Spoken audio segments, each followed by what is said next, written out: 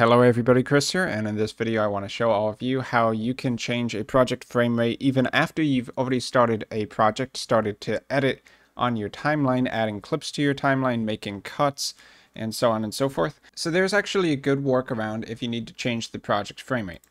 So if you don't already know, the settings for your project frame rate are up in the file menu, and then you would go down to project settings.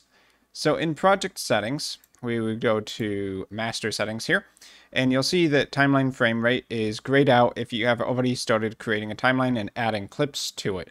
So as you can see, you can't change the project timeline frame rate setting after you've already started a new project. But what you can do is create another timeline and then override the timeline frame rate for that timeline.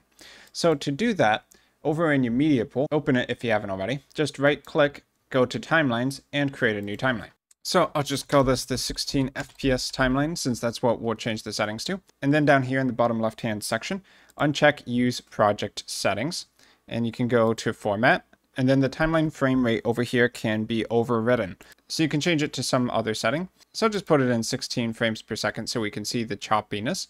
Uh, but you could also bump it up to 60 frames per second if you wanted to. So let's go ahead and hit create here.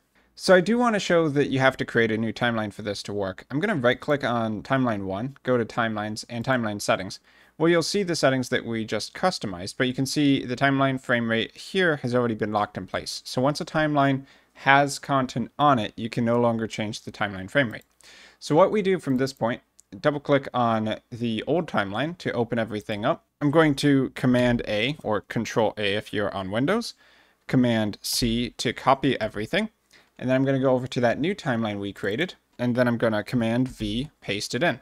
So we should have all of the cuts from before. I believe this would also include transitions. As you can see, as you can see, this doesn't automatically copy the markers over, so it's not a 100% foolproof method, but, but if we do find a point in time in our video, and we start hitting play, then you'll see in this FPS indicator up here at the top, it does say 16 FPS, and you should see the video is quite a bit more choppy than it was before. So go back to timeline one and we can play some similar clip. I'll hit space and we can see that this timeline is playing in 30 FPS. So this is a workaround you can use if you've already started editing on your timeline and you want to create a new timeline that has a different FPS setting. As far as I know, you can't change it at the project level, but that's fine because you can just override it for any timeline you need a custom frame rate setting for. So that's pretty much going to be it for this video. I've been Chris. I hope this helped all of you out there who may have been struggling with this issue once you've started working on your project but you need a new frame rate. And I will see all of you in my future video content.